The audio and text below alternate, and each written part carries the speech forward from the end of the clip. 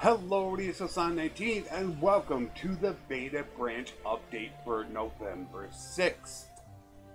So, this is going to be somewhat different of a beta branch update video. And it's going to be less as to maybe what's been done or what hasn't been done. And I think it's going to cover more on what we're finding out and what we might find out. So it's going to be a little bit different. Now, I do want to take the opportunity to kind of explain last week, in which I called 1.5.4 an unmitigated disaster. Now, I called it that not so much on the crashes of the game. If you look at the crashing of the game, it's actually very good. There are certain instances here and there, and one that I get quite frequently myself, that I do crash. However, in general, it's not that bad. It really isn't. There aren't a whole lot of them. There are a few. One dealing with allowing a companion to take a quest. I get one when I try, try to change different settings, especially into my performance. But all in all, it's not bad. Where I called it a highly mitigated disaster deals more along the lines of bugs, things that haven't been fixed, and the perk changes that were made. So, from a perspective of if you want to upgrade to 1.5.4 for just solely crash issues, then technically you could say yes.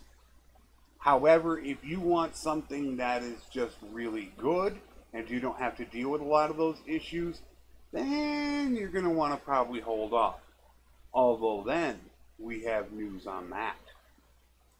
1.5.5 was slated to actually be released a couple weeks after 1.5.4. There is already talk about when is it going to be released there is literally, from what I've seen, especially on the Steam database, that there could be a possibility it's released next week, 1.5.5, and that's absolutely no joke. I it would not shock me to see that on Monday or Tuesday. Is it a given? No. That would mean 1.5.4 would go to the main branch. Uh, the big news is I finally heard from Dev mexxico. It's been probably anywhere, it's been around two and a half to three and a half weeks since I have heard from him. And in what he replied to me, in which I stressed about a month ago, he was going to be really busy. He stated to me that he has been so busy, he has not even had an opportunity to really hit the forums. Now, I am assuming that is because of how 1.5.4 was coming out and 1.5.5 was being pushed soon after that. And I know that he had a lot of work to do with the policies. So I understand why he's, you know, not been on the forums because I knew he was going to be busy. And he told me a month ago that he was going to be busy. So now the information that I got out of him what he has told me is that, first of all, he has absolutely nothing to do with the herd penalty. He's not even involved in that. So, therefore, that is something we cannot go to him for. He, he can't change anything, it's not within his authorization to do. Now, that doesn't mean we can't possibly find other ways to handle things as far as trading can be concerned. And I am actually in continuing talks with him about possibly changing a couple things around. But that we don't want to let go too much because we just don't want to get too much speculation going. Although he did specifically request one thing from me.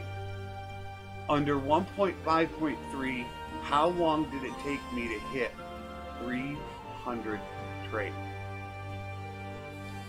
So that is where we left off our discussion. So he is actually interested to know how long it takes to hit 300 trade, meaning we're dealing with everything has a price. So therefore, we might be able to see something in the future happening. We don't know just yet. I have also made a point of asking whether or not he wants me to test how long it takes to get to 300 on 1.5.4. But like I said, our conversation did get cut short. He was only on for maybe an hour or less today. So we really didn't get a chance to really go into it. We just did some real basic talk and discussions. So there's going to be more to come. I'm sure I'll probably I might not hear from him this weekend, but I'm sure next week I'll be able to get some more information and maybe we can come to a compromise on, on maybe working a couple things out. We'll see how that goes. Hello everybody, and as you can see, the graphics are a little bit different than in the other part of the recording. That is because as I was getting ready to upload this video, I received another message from Dev mexxico. So I felt it was important enough to redo the video and bring this to you. As far as getting to 300 in trade, I gave him what I think I could do in 1.5.3 and what I think is possible in 1.5.4. His response to me is, let me see what I can think of. Although I am not the decision giver, meaning he will not make the final decision on what goes on. However, he is going to look at some possible alternative things that can be done to maybe help out trading which is great news. So I felt that was important enough to include into this video because it came right from him and I don't expect to hear from him in the very near immediate future because he's so busy. However, he said he will think of a few things. So therefore he is going to put some thought into it and when Dev mexxico says he's going to do something, I can trust that it's going to be done. So hopefully I will get a word on this in the near future and can bring it to you. And as I said, when I hear something, if it's important enough, I'll make a separate video. Other words, it will be contained in this beta branch update. For the bugs and crashes that are out there, like I said, there are some crashes out there, nothing, you know, major. However, bugs is another deal. I, I saw another post on the forums today, somebody talking about how you can't appoint your children as heirs. I already have a video up explaining that and showing what happens if you appoint somebody an heir from outside your party, how devastating that can be. Uh, I saw a new post about how siege towers aren't working that well. I posted a video on that as well. There's uh, the grain quest where it's not giving any relation. However, you can get 20 relation if you allow your companions to do the quest which that's what it was giving before, which they say all along it was only supposed to give five. So they're working on that as well. We still haven't heard anything about the map stuttering. To put it plain and simple, there are bugs galore. And I don't think we're going to see any change to that. There are just way too many bugs that, as I said last week, it would take us till Christmas to get through all these reports. It is just so terrible. Now, I will say they did do a good job on the known issues page, and they did categorize the known issues into categories. So you don't necessarily need to go through the entire list. You can just click, click on the main category to see if your issue is in there. Should you upgrade to 1.5.4?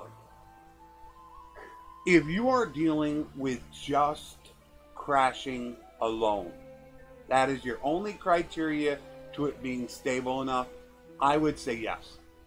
If that is your criteria. However, if you are looking for something that doesn't have a ton, and I mean a ton, of potential bugs, that's another story. Then you might want to hold off just a little bit. Because all we've gotten in the last, what is it, uh, 12, 13 days since 1.5 6.4 is released, two hot fixes. But as far as crashing is concerned, absolutely, I think it's it's pretty damn stable to go ahead and do. As far as bugs are concerned, geez, I don't know. So I'm really going to leave that up to you to decide.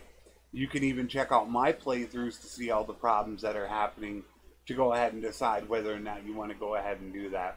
I will also next week bring you any updated uh, news that I hear from mexxico. And if it is relevant and important enough I will bring it to you in a video during the week.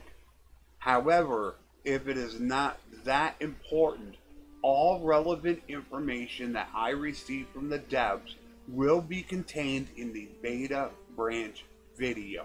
As I said, do not be surprised if you see 1.5.5 drop next week.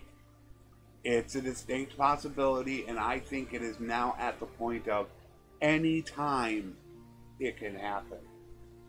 So until next week, uh, hopefully we're not dealing with as many issues, and we might be on 1.5.5, and maybe I can get you some more news from Dev mexxico. As always, take care, and thanks for watching.